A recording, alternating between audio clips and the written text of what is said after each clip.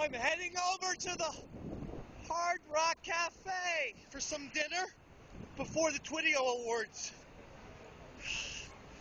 I hope I win.